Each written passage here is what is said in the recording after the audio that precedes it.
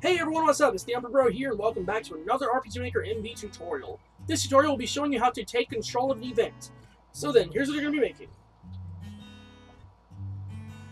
As you can see, we're moving around the bat, and uh, the screen follows him.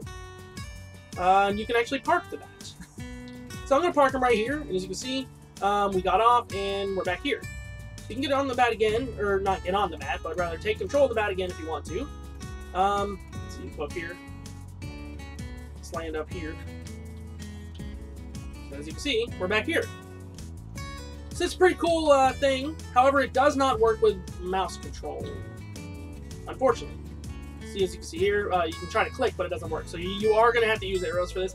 If you are um, using some sort of an...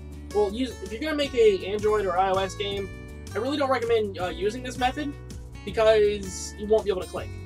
But no worries, I am going to upload another tutorial soon. It's going to be pretty darn cool. But yeah, so here's how you do it. First, you want to make an event. You want to make it an action button, and you want to give it the graphic. If you have uh, a sort of a wait animation or anything like that, or a flying in place animation, make sure you check stepping. Now what you want to do is you want to make a switch called control. If you don't understand switches, um, basically they're simple things where you can turn it on or off, and you can have conditions uh, set to where something happens when it's on or off. So make a, make a switch called control and turn it on. Disable the menu access. This is important because otherwise you're going to open the menu when you cancel out the ride, or the, the control. Next, make another event tab by clicking new event page. Give it the exact same graphic, same things over here, check walking and stepping. Uh, check through for uh, check through if you're having a flying based kind of event, an event that can fly places. Um, let's see.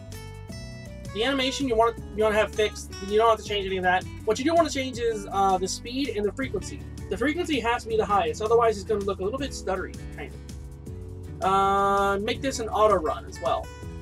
Now then, if you don't understand variables, that's okay. I'm going to be uploading a video soon um, explaining how variables work, understanding variables. But basically go to control variables, uh, you're going to make three variables, EX, EY, and map ID. For EX, we're going to set it equal, uh, here we go, to game data, and we're going to select character, this event, screen X. That's going to get the X screen in pixels where the character is. Do the same for uh, EY, but set EY equal to the screen Y. Now, we're going to do a conditional branch. Uh, the conditional branch you can be accessed, it can be accessed right there, as you see there.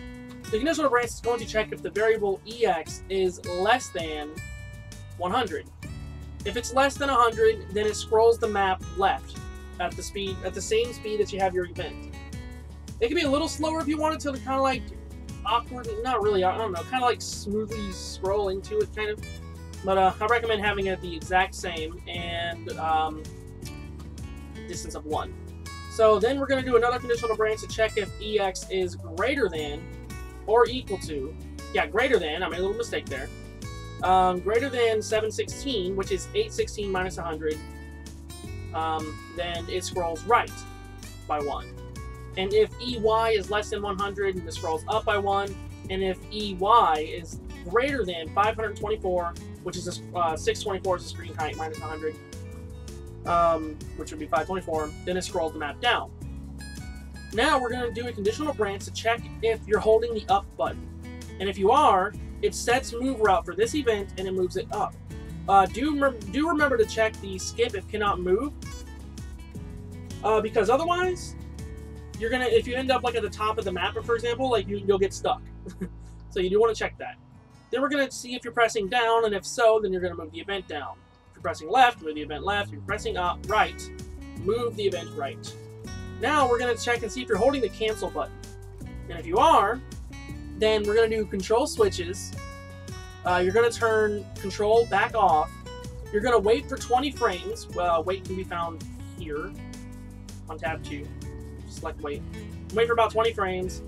Um, then we're going to control variables again. Then this time we're going to set EX equal to the player's map X, not screen X, map X. Now we're going to set EY equal to the player's map Y and we're going to we're going to make the uh, variable called map ID. We're going to set it equal to game data map ID. Now we're going to simply transfer the player using a transfer event, which can be accessed here. Transfer player. Um, and the information for it is going to be, instead of a direct designation, we're going to select designation with variables.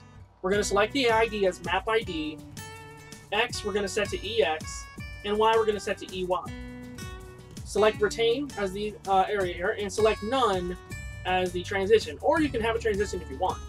That's going to bring the camera back to the player. You can you can set up sort of a scroll effect if you wanted to, but I went with a simple method. Now you want to change menu access again and re-enable it. That can be found here. Change menu access on the third tab right here. Now you want to re-enable it though.